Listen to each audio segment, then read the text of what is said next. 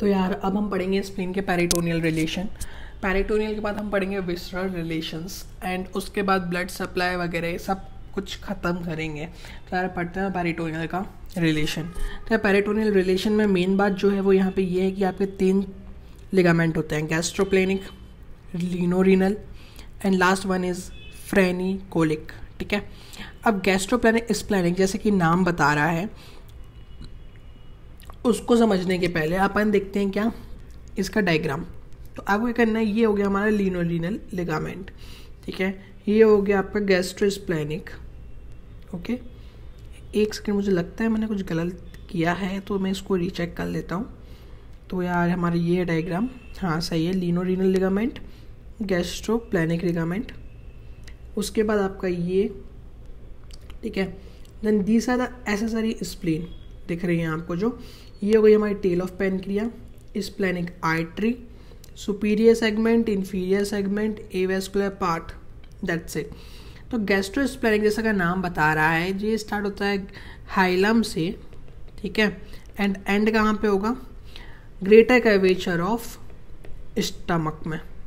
Okay तो वही लिखा है start from hilum of spleen end end at greater curvature of stomach contain क्या करता है? ऑब्वियसली बात है स्टमक का तो ये शॉर्ट गैस्ट्रिक करेगा वेसल्स को सिम्फेटेटिक है ना नर्व्स एंड लिम्फेटिक्स ठीक है? अब जो लीनोरिनलिस लगभग सिमिलर है।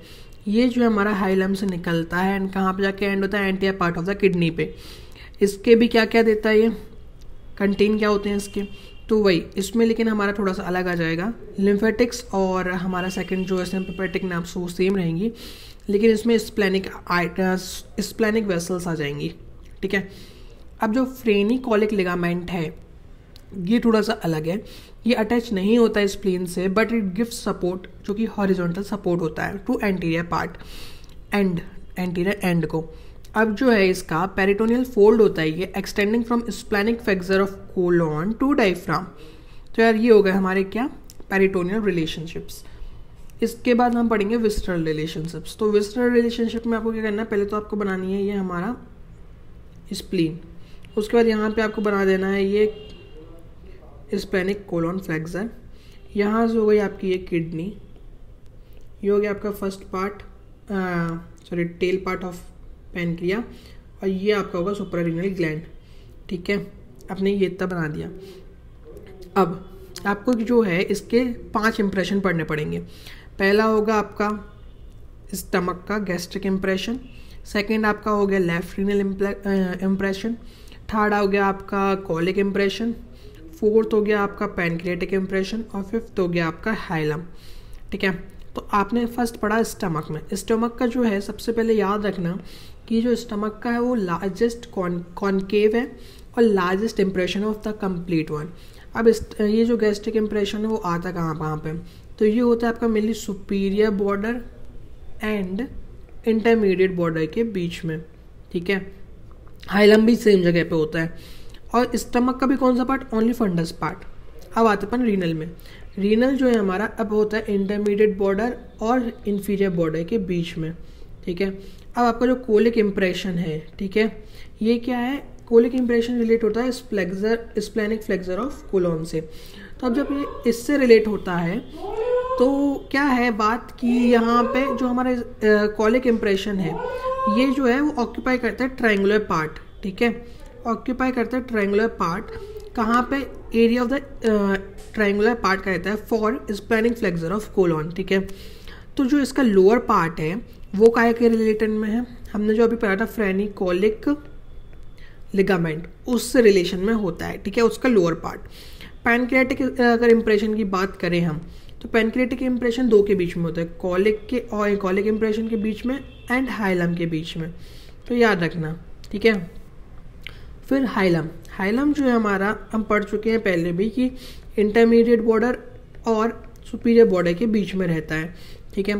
ये क्या कहता है? Provides attachment to lienorenal ligament जो कि हमने पढ़ा था प्लस सेकेंड वाला लिगामेंट पढ़ता हमें गैस्ट्रोप्लैनिक लिगामेंट तो ये दोनों लिगामेंट्स को अटैचमेंट देता है, ठीक है? Splenic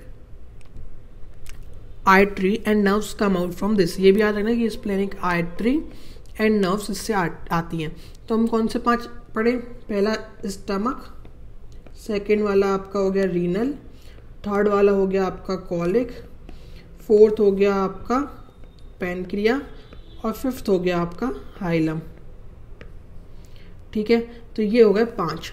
अब हम बात करते हैं अगले की। तो हमारा अगला जो है वो है डाइफ्रेगमेटिक वाला। क्योंकि हमने पढ़ा था दो तरीके के सरफेस होते हैं विस्ट्रल सरफेस एंड डाइफ्रेगमेटिक तो हमने जो अभी पढ़ा वो था हमारा विस्ट्रल हम पढ़ेंगे डाइफ्रेगमेटिक डाइफ्रेगमेटिक कुछ भी नहीं है ये जो है वो रिलेटेड होता है डाइफ्राम से। और डाइफ्राम क्या करता है इसको? जो हमारी रीसेस होती है प्लस रंग होता है जो ठीक है ना? उससे सेपरेट करता है और आ, कुछ रिप से भी सेपरेट करता है।